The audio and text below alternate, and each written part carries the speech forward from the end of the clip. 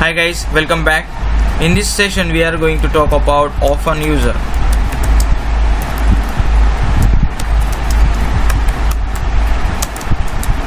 So what is the orphan user first of all?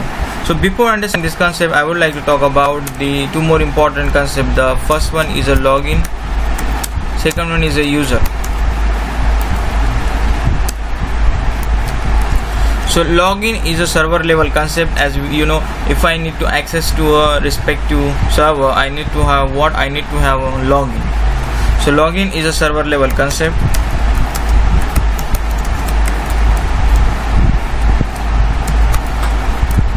Then user. Once I have the login I need to map that login to respect to database. So with the same name the users will be created. So users will be uh, a database level so what does it mean? It means logins are present at a server.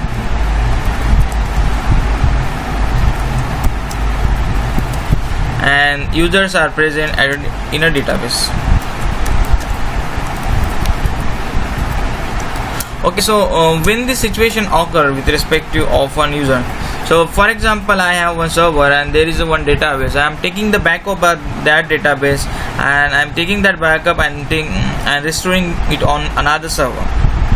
When i restore that database on another server that database get created uh, along with the users which they have in the database. But you know users are always connected with their login. So as we know when we do backup that time what happens?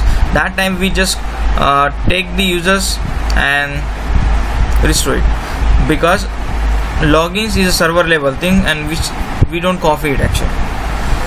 So what happened in this case? The database get restored users get created but those user doesn't have the login. So users can't log into that server and users can't get access to directly to that database and this kind of situation where users are present but logins are not present. And that situation is called as the orphan user situation. And those users called as the orphan user. To fix this orphan user there are uh, multiple solution. The first solution is a containment containment database.